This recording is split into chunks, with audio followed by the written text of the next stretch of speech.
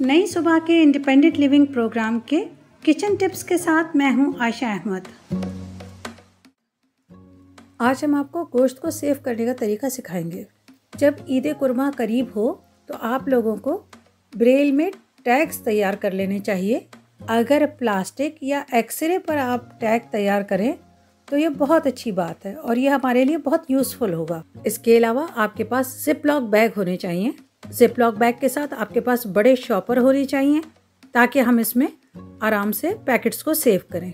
कुर्बानी होने के बाद आपके पास गोश्त हो तो वो आप उसको प्लास्टिक या फिर चटाई पर फैला दें और पंखा चला दें।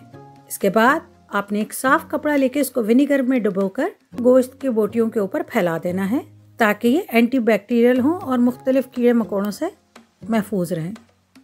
जो गोश्त आपको लंबे अरसे तक के लिए सेव करना है, इसको वॉश करके स्ट्रेनर में रखकर इसका एक्सेस वाटर ज़ाया कर दें। अब एक पतीले में तीन लीटर पानी लेकर इसमें हाफ़ कप विनीगर ऐड कर दें। धुले हुए गोश्त को अब इस विनीगर वाले पानी में डिप करके रखें। तकरीबन पाँच मिनट डिप करने के बाद आप इसको निकाल कर किसी कपड़े या प्लास्टिक पर फैला दें और फ़ैन ऑन कर दें। बोटियों को खुश्क होने के बाद एक किलो या दो किलो के पैकेट्स बनाकर आपने सेव कर लेना है। इसके बाद आपने बड़े शॉपर में मुख्तलिफ़ पैकेट्स को रखकर ऊपर टैग कर देना है कि इसमें बिरयानी का पैकेट है या फिर कीमे का या फिर कबाब का।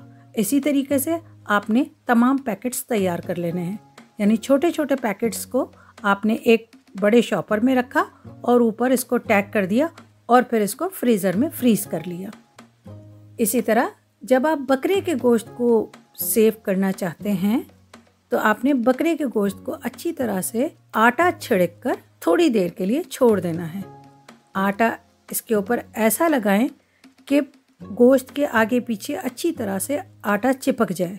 आधे घंटे बाद साफ़ पानी से गोश्त को धो लीजिए और इसके बाद इसको स्ट्रेनर में रख के इसका एक्सेस वाटर खारिज कर दें। अब एक पतीले को चूल्हे पर दरमियानी आँच पर रख दें और ये गोश्त इस पतीले में ट्रांसफ़र कर दें। दरमियानी आँच पे इसको इतना पकाएँ, चमचा चलाते हुए, कि इसका सारा एक्सेस वाटर एब्जॉर्ब हो जाए। इसके बाद चूल्हा बंद करके इस गोश्त को ठंडा करके इसके पैकेट्स तैयार कर लें और फ्रीज़र में फ्रीज़ कर लें। इस तरह से बकरे के गोश्त को आप धोकर फ्रीज़ करेंगे तो ये लंबे अरसे तक असली हालत में बरकरार रहेगा। प्लस जब इसको आप कुक करेंगे तो इसमें से कोई हीक नहीं आएगी और आप इसको आसानी से इंजॉय कर सकते हैं। अब तक के लिए इतना ही। अगली टिप के साथ दोबारा हाजिर होंगे। तब तक के लिए अल्लाह हाफिज़।